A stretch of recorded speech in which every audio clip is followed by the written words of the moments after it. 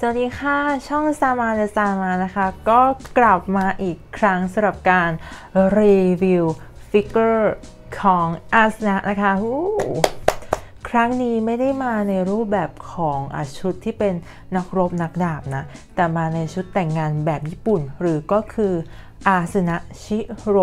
มูกุ1ต่อ7นะคะอ่าจากค่ายฟูริวเนาะ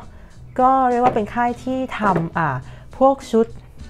แต่งงานเนี่ยหลากหลายมากมายนะคะ ที่เป็นชุดแต่งงานขาวๆอย่างเงี้ยก็คือ จะมีทั้งเรมนะคะ มีแรมด้วย แล้วก็เหมือนกำลังจะทำอีกหลาย ๆ ตัวเพิ่มขึ้นมานะคะ โดยที่จะเป็น concept คือเป็นชุดแต่งงานนี่แหละค่ะ แสดงใบหน้าที่แบบยิ้มแย้มสดใสของตัวละคร character หญิงในแต่ละเรื่องแต่ละเรื่องไปนะ ซึ่งตัวนี้เล็กก็ได้มาแบบ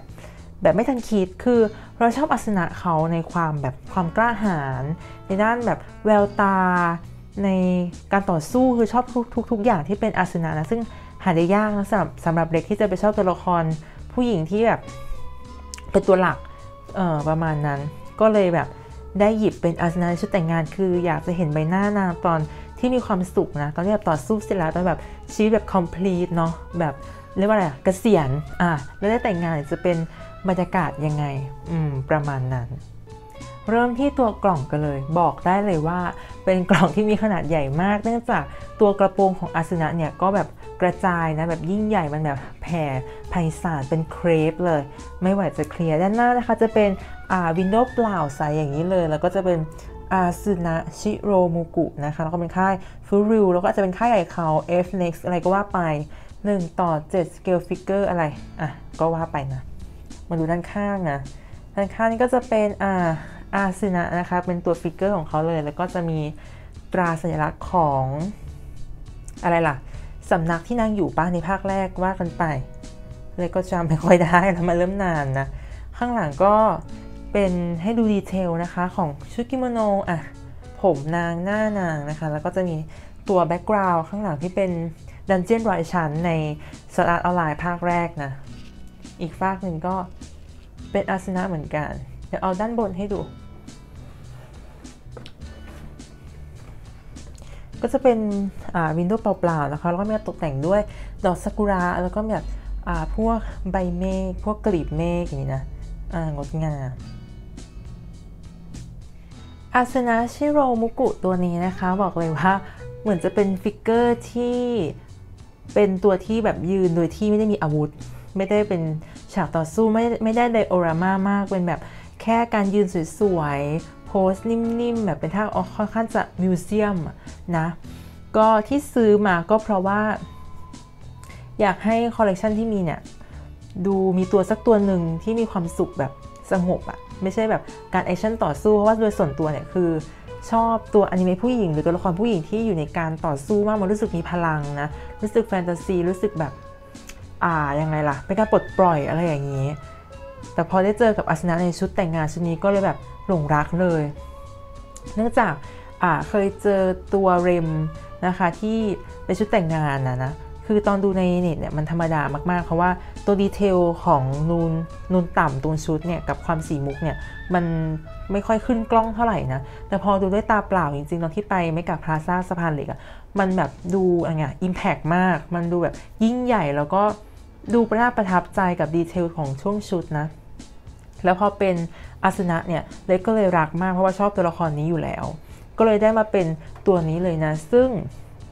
มันก็จะมีความพิเศษตรงที่ จะมีนี่แหละค่ะ อีตัว background ข้างหลังที่เป็นวงกลมอันนี้ที่เป็นฉากอ่า dungeon ร้อยชั้นของนางนะ แล้วก็จะมีนี่ เป็นใบหน้ายิ้มแยกออกมา แล้วก็เห็นน้ำตาปะ ดูสิหยดน้ำตาเห็นความปลื้มปริ่ม ว่าฉันได้แต่งงานแล้วอะไรเก็ตปะเออคือในเน็ตเห็นอยู่ว่ามีหน้าแถมมาแล้วเป็น Exclusive สำหรับการสั่งในเว็บ แต่ไม่เห็นว่ามันมีดีเทลของน้ำตา หยดน้ำตา เออที่รินไหลเออนะย้อนกลับไม่ได้ ก็เลยรักมากนะสำหรับอาซึนะแล้วก็ดีเทลต่างๆ นานาของตัวนี้ ซึ่งในชุดนั้นก็จะมีตัวไอ้สัญลักษณ์ของประจำสำนักนางด้วยที่เป็นดาบสีแดงๆตัวนั้นนะ แสดงความเป็นอาซึนะใต้กระโปรงก็มีความเป็นแบบสีทองเบาๆเออมีกิมมิคเล็กๆ คือเก็บทุกส่วนนะ แต่แค่ความเป็นเกรเดียนตรงช่วงกระโปรงสีแดงเนี่ยไม่ไหวนะ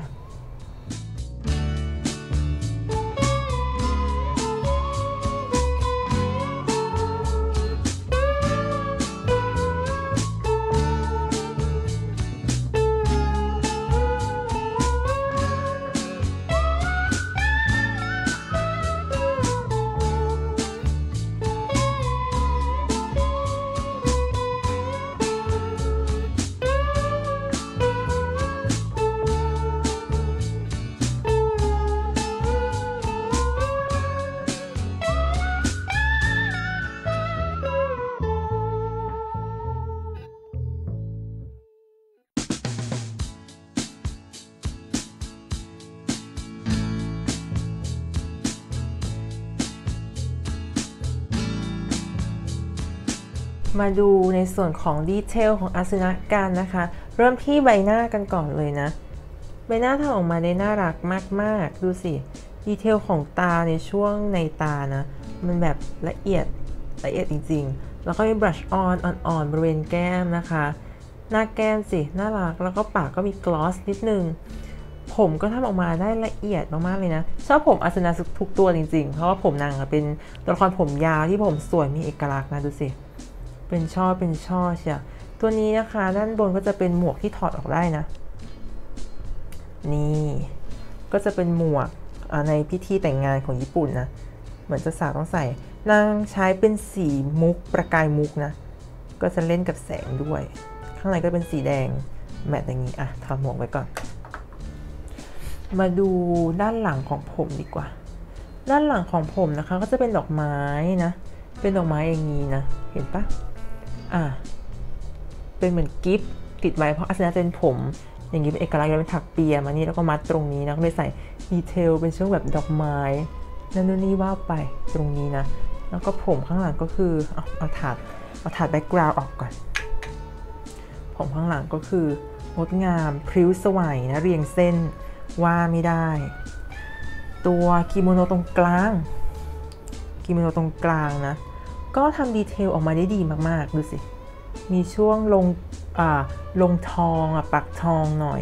มีการไล่สีตรงนี้เป็นสีแดง ส้มเหลืองมา มีโอบิสีทองตรงกลาง มีดอกไม้นะ detail ดีดีชุดแต่งงานอะชุดแต่งงานดูสิ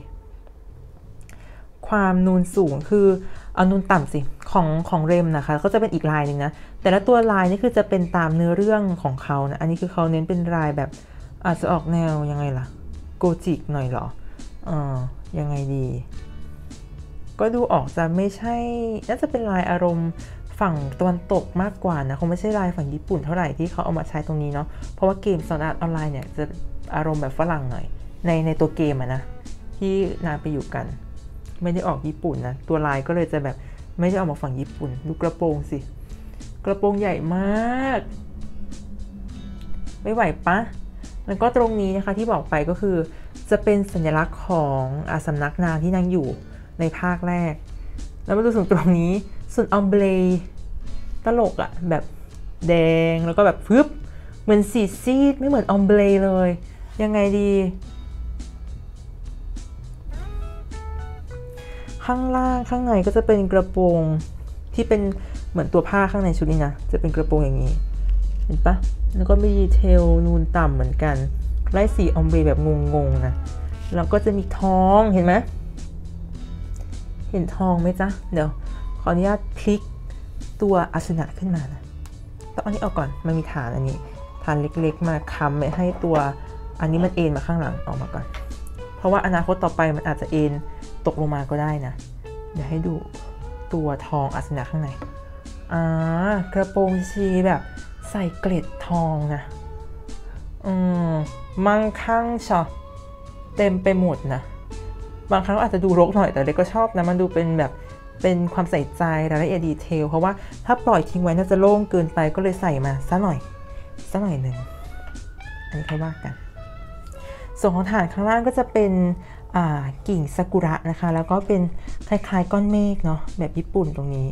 เป็นกิ่งทองใบหยกหนึ่งนะ รองเท้าก็น่ารักดี เป็นรองเท้าถุงเท้านะเป็นเกียร์สีทองว่าไปอ่าไล่ขึ้นมาไล่ขึ้นมา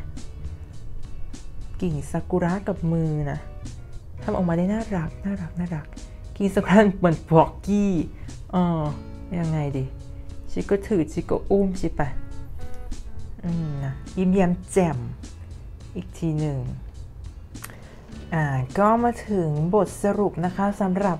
คะแนนของอาสนะชิโรมุกุตัวนี้นั่นเองนะ บอกเลยว่าก็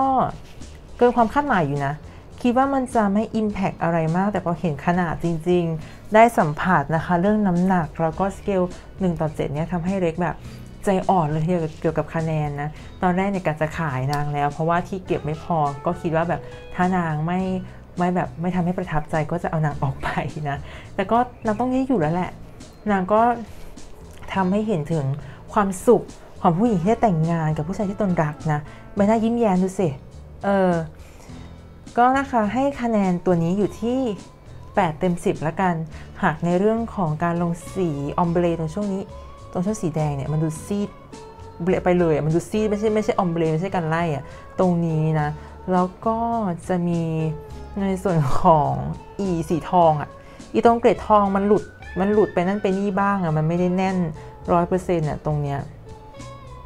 นะกับอีตรงนี้ด้วยอีที่ค้ำใสๆตรงเนี้ยลำคานะคะมันค้ำตรงขาก็พอแล้วไม่อยากอยากให้นางคิดอ่ายังไงล่ะนางคิดโครงสร้างออกมาโดยที่ไม่ต้องใช้ตัวช่วยเยอะขนาดนี้นะก็จบไปแล้วนะคะสำหรับรีวิว Asuna Shiromuku 1ต่อ7 Scale Figure จากค่าย FURYU เล็กก็ขอขอบคุณทุกคนนะคะ ที่ติดตามมาถึงคลิปนี้นะคะ ยังไงก็ฝากกดไลค์ กดแชร์ กด Subscribe นะคะ แล้วก็ในแฟนเพจ Facebook เนี่ย ตอนนี้จะมีการ